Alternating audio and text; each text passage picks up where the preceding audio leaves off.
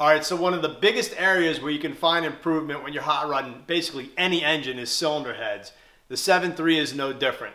So Brian's gonna take us through a stage two cylinder head that he had worked up. Brian, what's special about this cylinder head? Okay, well, we'll start with, as you said, this is a stage two, and I'll talk kind of about the stage one, two, and three as I'm going through. Perfect. So people can kind of understand the difference. So first, uh, as with any cylinder head, you know, CNC porting of the intake, the exhaust, valve sizes are all very crucial. So this is a stage two, which still utilizes the stock rocker arm system, as opposed to the stage three, which we have machined off and we have a shaft mounted rocker system to go with that. Right. That's intended for the all out heads up racing um, with titanium intake valves, you know, two and a quarter, those will go two and a quarter on the intake, one 700 on the exhaust on the stage three. This stage two is going to be for the person that doesn't want to go quite that far, but still is looking for substantial power gains. We haven't run this on dyno yet, but we are going to run it, and so you're going to have to watch our future videos on that. I'm expecting this to really perform very, very well. Now again, these are all from the stock casting, so one of the things we have to know is we do have to live with the stock combustion chamber thicknesses, the stock deck thicknesses, and we're going to have to make sure that you know it's going to be reliable power. That's why Right. we want to run everything here, know it's going to work, and know that's going to be reliable for people in the field. Nice thing about these stage two heads versus the stage one, the stage one utilizes stock intake valves, stock exhaust valves. Uh, the stage one head also has stock valve guides in it. It still flows substantially well. With the stage one heads, with one of our stage one cams, with a stock intake, we made 600 horsepower and almost 600 foot-pounds of torque, which I thought was really, really good for just a cam and a touch-up on the cylinder Right. heads. These stage twos, we have the premium uh, seats in them and premium guides.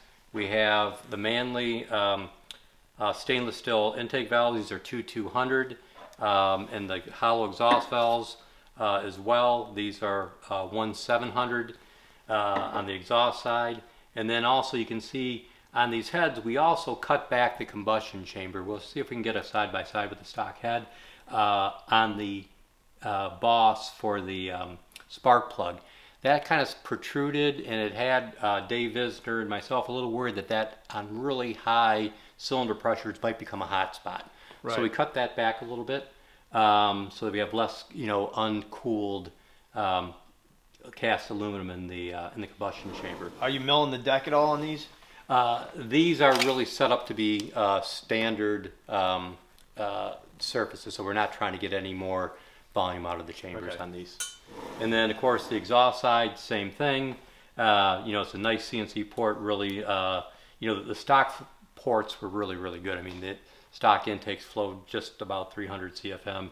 You know, these will flow substantially better, but a nice high port as well. The other cool feature on these heads is all 10 head bolts are the same. You know, the same Right. same distance. So we're really looking for good things with these stage two heads. I can't wait to get them on the dyno, uh, especially with the longer duration cams, and uh, I think they're going to do really, really well, especially when we put it uh, with the Whipple supercharger on it. Now, is this something that somebody can just bolt right on to a 7.3 without too much trouble? Like you said, uh, stock rocker system. Yeah, the, yeah, the stock rockers. Now, again, if you're going this far, I wouldn't expect someone to use stock pistons and rods. Right. Because I think that the power that this is going to generate in the RPM range you're going to want to run, you're going to want to go to something like the Callies rod uh, that they offer for the 7.3 and the Right. Wiseco pistons to go with that. So you're going to want something a little bit more durable than the stock stuff. This is for the person that's going after really a serious upgrade as opposed to a mild upgrade, which the stage one heads are designed for. Right. Now, you mentioned the importance of CNC porting versus, I guess, hand porting. Is that just for a consistency factor? Absolutely, yeah. With the CNC porting, you know you're what you're going to get, and you're going to get it, you know, the same time, all the same results all the time.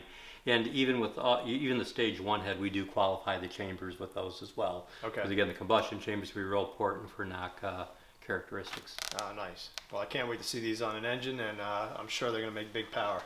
Yep. Okay, yeah, and, and we're going to have to have you back once we put these on the dyno and really be able to publish uh, numbers that we can talk about with confidence. Yeah, well, I can't wait to see him run. Brian, once again, thanks for having us up here. We got a lot of stuff coming up on the 7.3. Stay tuned to the channel. Be sure to subscribe, hit that like button, and uh, absolutely leave a comment and tell us what you want to see If you got questions for Brian, drop them in the comments section.